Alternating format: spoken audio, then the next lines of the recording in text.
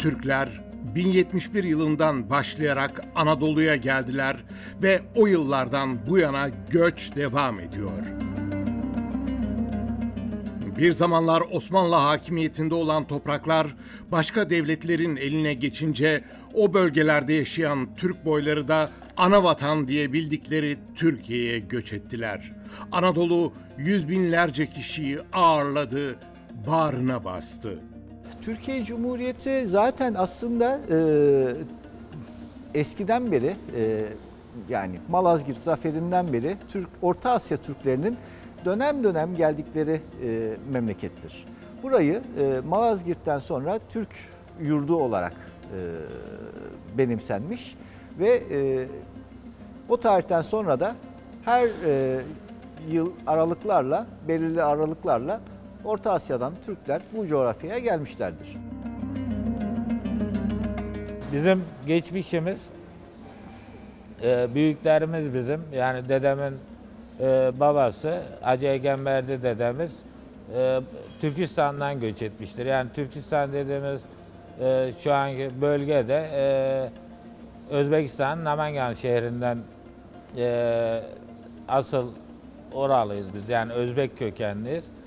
E, orada Özbekistan'da e, bu hac için işte Arabistan'a gidiyorlar. Orada Mekke, Medine'de kalıyorlar.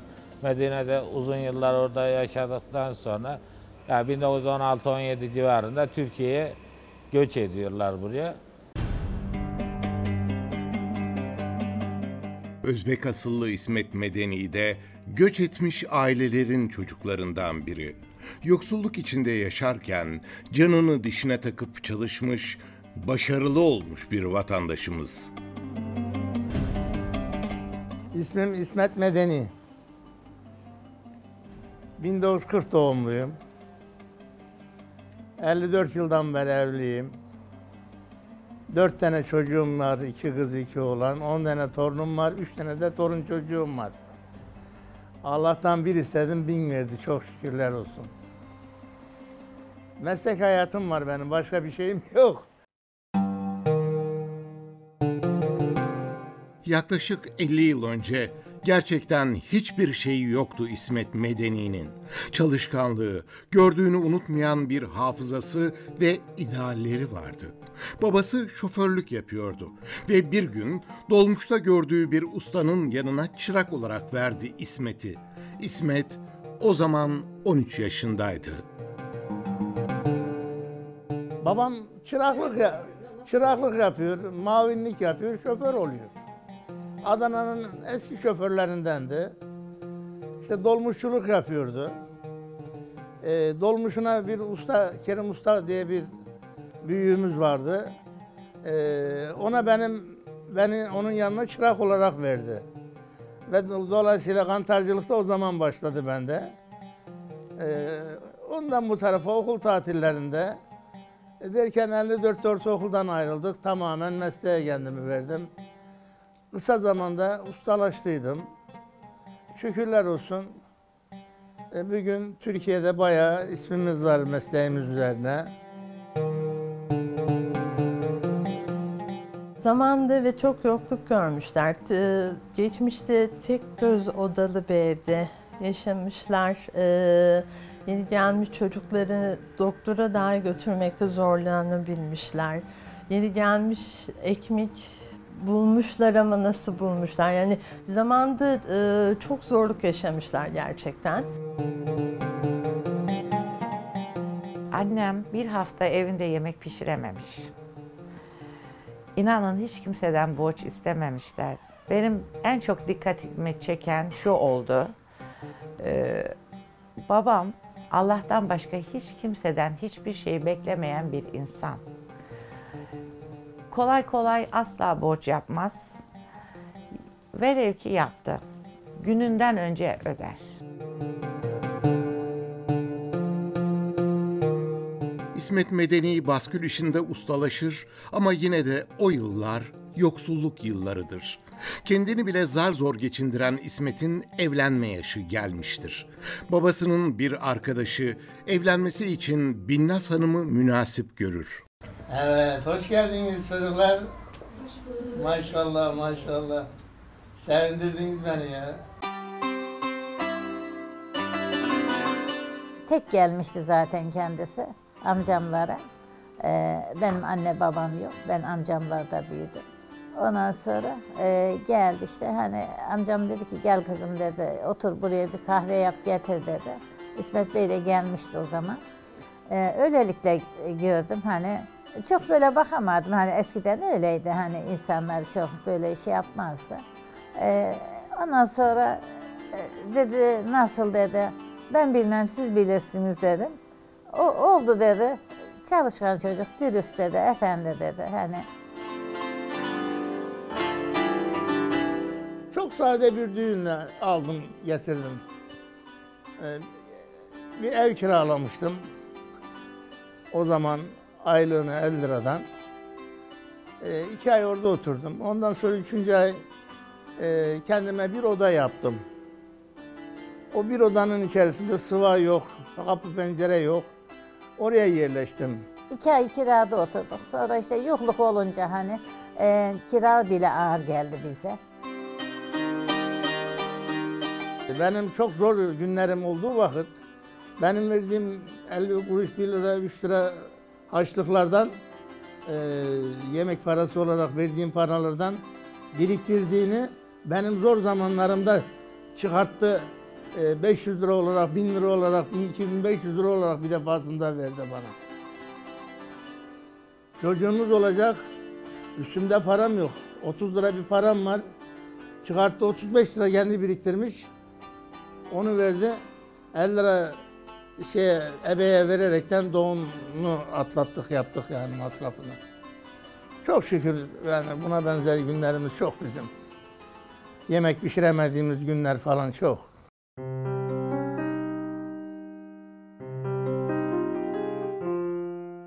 Evlilik, doğan çocuklar ve parasızlık İsmet Medeni'yi daha fazla çalışmaya zorlar. Gecesini gündüzüne, canını dişine takar, dürüstlüğünden de hiç taviz vermeden ustalığını paraya dönüştürmeye başlar.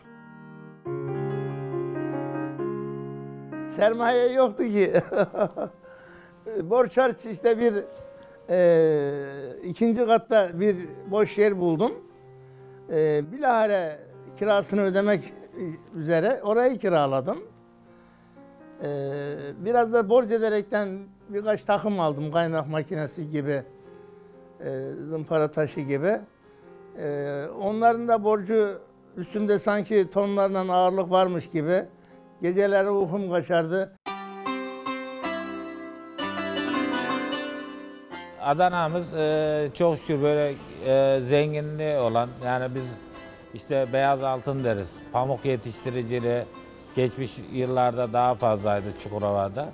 E, bunları e, baskül imalatı yani kantar dediğimiz çiftçimizin kullandığı tarlalarda bizim işte 500 kiloluk diye tabir ettiğimiz e, santazimarlar bunların üretimiyle başladı. Mesleğim üzerine gördüğüm her işi adeta fotoğraf makinesi gibi kopyalardım. Beynime yerleşirdi yani. Çünkü merakım sanatım üzerindeydi. Bu merakım e, çok iyi imalatlar yapmaya e, sebep oldu. Çok şükürler olsun. Yavaş yavaş gece gündüz çalışaraktan küçük basküller yapardım. Ondan sonra büyük basküllere başladım. Büyük basküller yapmaya başladım. Karşıyaka'dan arsa aldım. Binasını yaptırdım.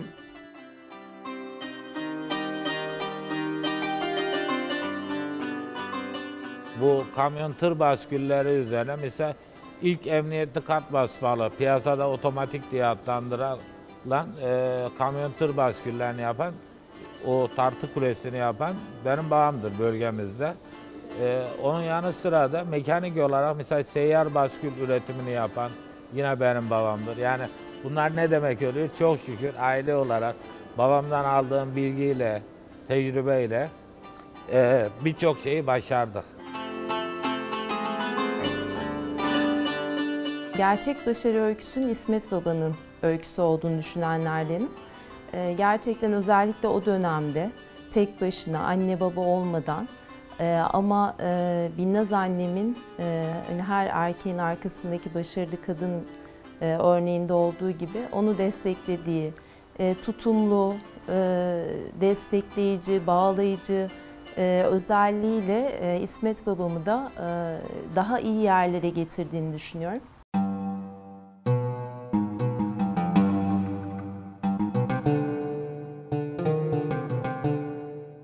İsmet Medeni kendi şirketini kurar ve bu arada da dört çocuğu olur. İkisi kız, ikisi oğlan. Erkek çocuklara İ ile başlayan isimler verilir. İlker ve İhsan. İlker'in hayatı çocukluktan başlayarak babasının yanında geçer. İhsansa okumak istemektedir. Hı. 1968 yılında doğdum. Ben kendime bildiğim ilkokula gitmeden önce babamın beni iş yerine götürdüğünü hatırlıyorum. Benim tabii iş hayatım ilkokula başlamadan önce yani babamın esnaf olması, sanatkar olmasıyla birlikte tabii bizim evin büyük oğlu olduğum için e, sürekli babamın yanında yer alaraktan geçti ve bunlar tabii bana e, büyük bir tecrübe, büyük bir e, bilgi birikimi sağladı ve genç yaşta da bir şekilde bir e, işler yani ciddi anlamda işler yaparak da başarı kazandım. Tabii bunun asıl başarısı benim babamdır.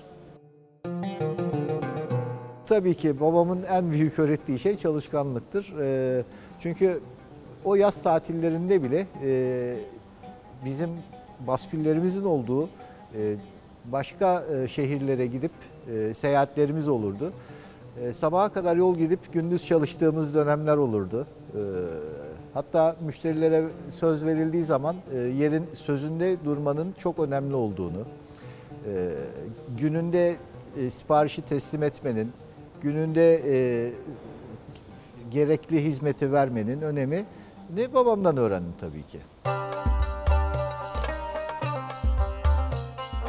Çocuklar yetişir ve şirkette çalışmaya başlarlar. İlker zaten üretimi çok iyi bilmektedir. İhsan da işletme fakültesini bitirir ve şirketi bilgileri ve yabancı diliyle destekler. Yaklaşık 40 yıldır dürüstlük ve çalışkanlığıyla bütün iş piyasasının tanıdığı İsmet Medeni, işleri yavaş yavaş çocuklarına devreder. Çocuklar babalarından aldıkları emaneti daha da ileri taşırlar ve yurt dışına açılırlar.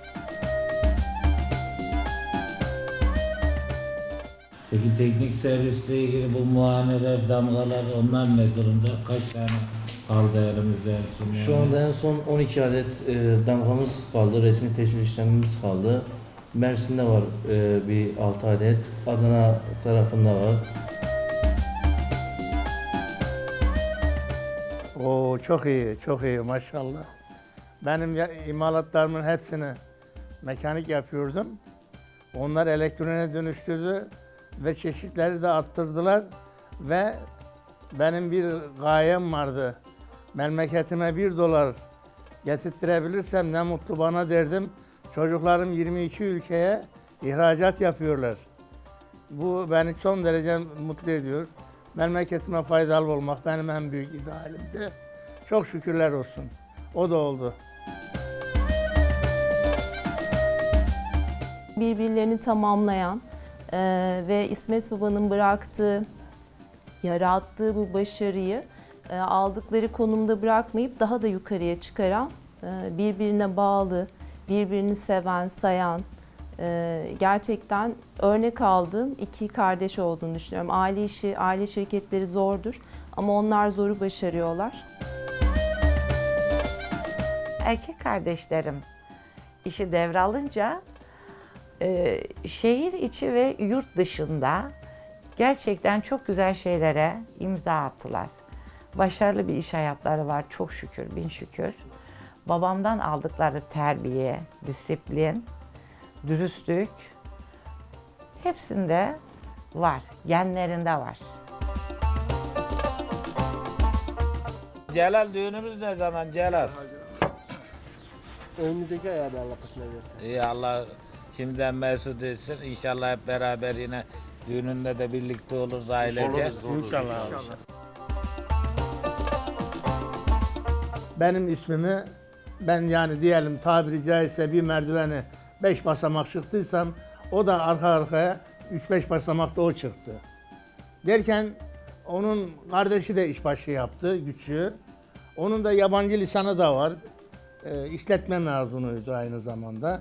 O da mesleğimize meraklı çıktı. O da yurt dışıyla çalışmalara da başladı. Şükürler olsun. Bugün 22 ülkeye ihraç ediyorlar.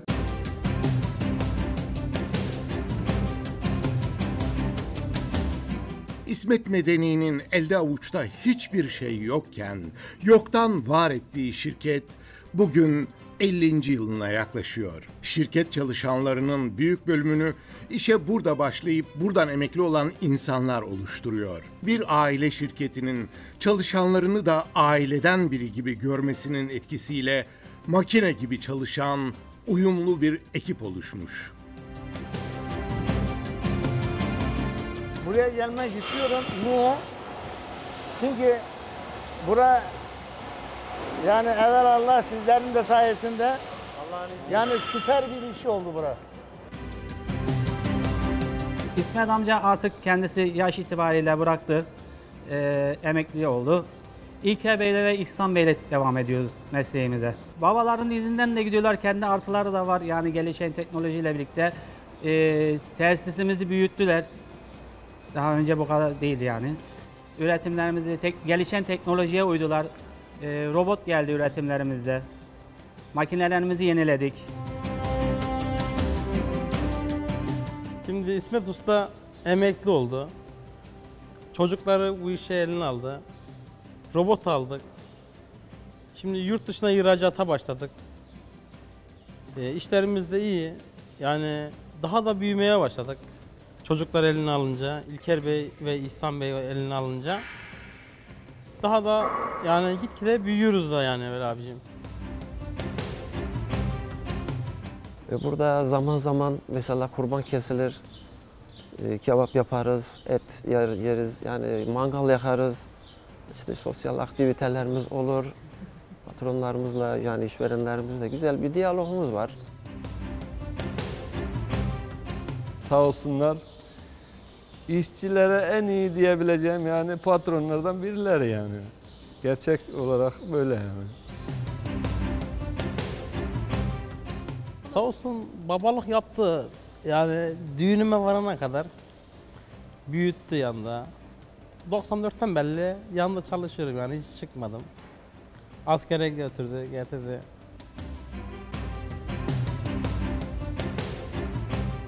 Adamlarımızın biri ayrıldı. İnanın gözlerim yaşardı. O kadar içinde sevdiğim de vardı yani. Allah işini gücünü rast getirsin. Ee, elimi öptü, boynuma sarıldı. Ben de ona sarıldım. Gözlerim yaşardı. Hakkımı helal ettim, gönderdim. Çok şükür. İsterim ki herkesten öyle olayım.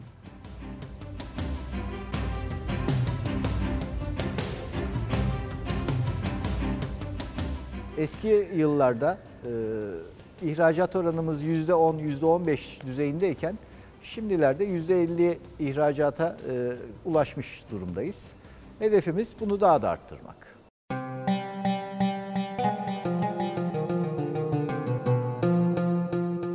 çıraklıkla başlayıp giderek büyüyen bir ailenin geçimini sağlayan, şirketini kuran ve yıllar içinde büyüten, daha sonrasında da çocuklarına devreden Özbek asıllı vatandaşımız İsmet Medeni. Ondan sonra İlker işin başına geçti. Hepsini elektronik yaptı. Çeşitleri bile maşallah arttırdı. Ali Usta da baş yardımcısı. Çevresi tarafından çalışkanlığı ve dürüstlüğüyle çok sevilen İsmet Medeni'yi gelini ve kızına sorduk.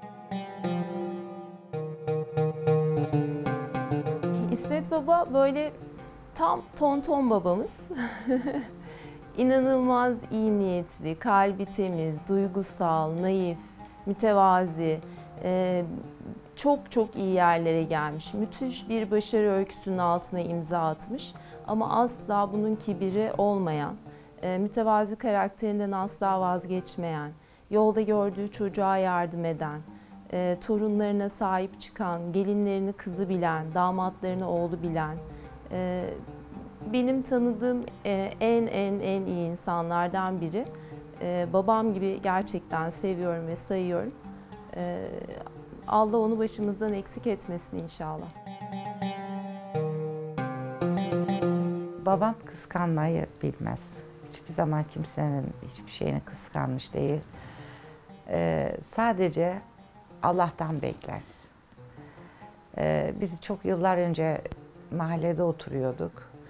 İnanın mahallede birinin çocuğuna bisiklet alınsa sanki babam kendine alınmış gibi mutlu olur. Biri bir araba alsa, televizyon alsa kendine alınmış gibi öyle ki mutlu olur, sevinirdi, imrenirdi. Kesinlikle kıskançlık duyguları olmadı bizim evimizde çok şükür.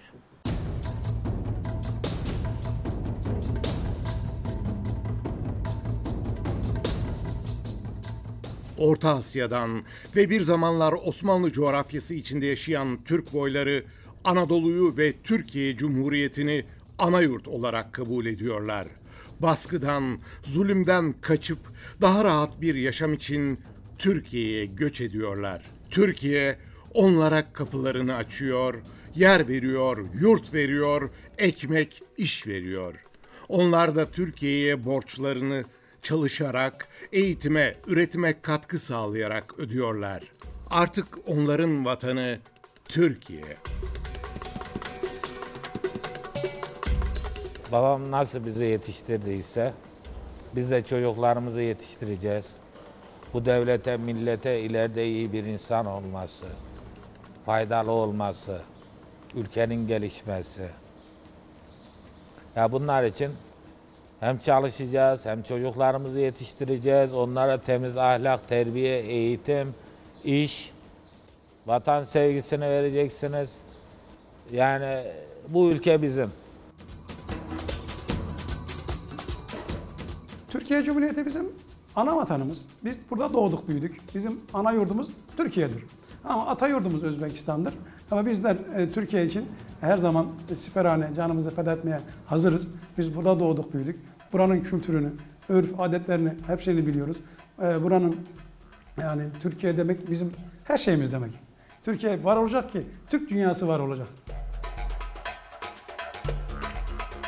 Türkiye Cumhuriyeti anamız, babamız, canımız, ciğerimiz, namusumuz, şerefimiz, her şeyimiz.